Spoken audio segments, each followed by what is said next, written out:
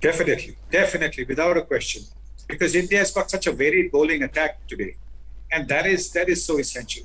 You know, there's there's this saying that you know, uh, if you don't take 20 wickets, you won't win. Uh, you won't win a match. No, you need to score runs also, and we saw that in England in 2018. We saw that in South Africa in 2017 uh, when we went there 17, 18.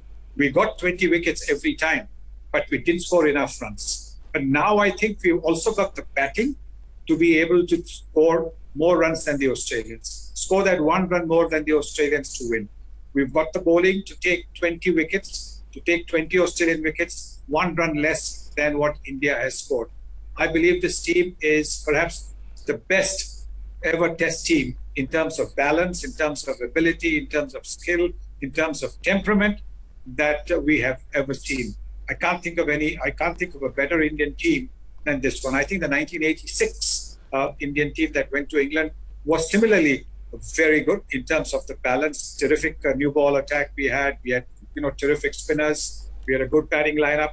And this Indian team has got exactly that. Therefore, I have really no no doubts that uh, they will uh, go on to beat Australia. All that they need, like everything else, is a good start. A good start to the series. The first series, first test of the series becomes important they begin well over there, I think you can be rest assured that they will win the series once again in Australia.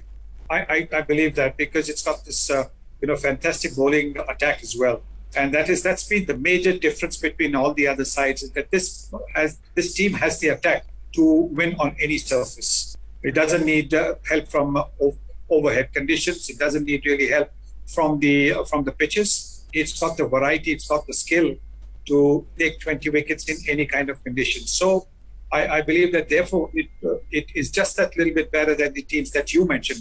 Those teams, you know, those teams were also amazing teams. But in terms of the attack, they were just that little bit short, just that little bit short. The batting wise, you can say yes. Batting wise, you know, the team that Virat's team and the team of the 2000s, and then our team in the 1980s, uh, uh, you could say batting was, you know, pretty similar.